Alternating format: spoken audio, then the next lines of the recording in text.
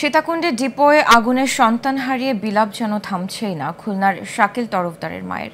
শোকাহত পরিবারকে সান্ত্বনা দেওয়ার ভাষাও হারিয়ে ফেলেছেন স্বজনরা। সিরাজগঞ্জের উল্লাপাড়ার ফায়ার ফাইটার শফিউলের বাড়িতে চলছে শোকের মাতম। প্রতিনিধিদের তথ্য ছবিতে বিস্তারিত জানাচ্ছেন শেখ ফাহিম। ছেলেকে হারিয়ে বাকরুদ্ধ বাবা। বারবার মূর্ছা যাচ্ছেন মা। কোনোভাবেই থামছে না ভাই বোনের কান্না। এমন অবস্থা ফায়ার ফাইটার মোহাম্মদ শাকিল তরফদারের খুলনার গ্রামের বাড়িতে।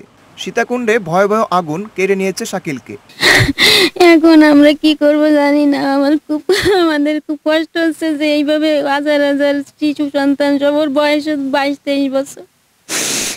ও আমাকে ছেড়ে চলে গেছে। সৈনিক ছিল সে আজ শহীদ হয়ে গেছে। কিন্তু সরকার কাছে আমার একটাই প্রার্থনা যে ওই মালিক ধরে তাকে জনতার বিচারে আধীনে আনা আনা হয়। কোরবানির ঈদের ছুটিতে বাড়ি এসে নতুন ঘর করার কথা ছিল শাকিলের। কিন্তু সেই স্বপ্ন পূরণ না হলেও এই ঘটনার জন্য দায়ীদের কঠোর শাস্তির দাবি স্বজনদের। ঈদের পরে আসে বালি ঢুকবে পুকুরি। সেই কথা বলে সে আমার কাছ থেকে বিদায় নিয়ে গেছে। তার আশা পূরণ করার সাধ্য হয়নি। যারা দোষী তাদেরকে সমাজের চোখে দৃষ্টান্তমূলক শাস্তি যেন রাখে। শাস্তি দেয়।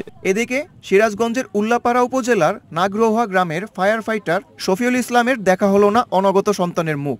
গত বছরই বেঁধেছিলেন সংসার।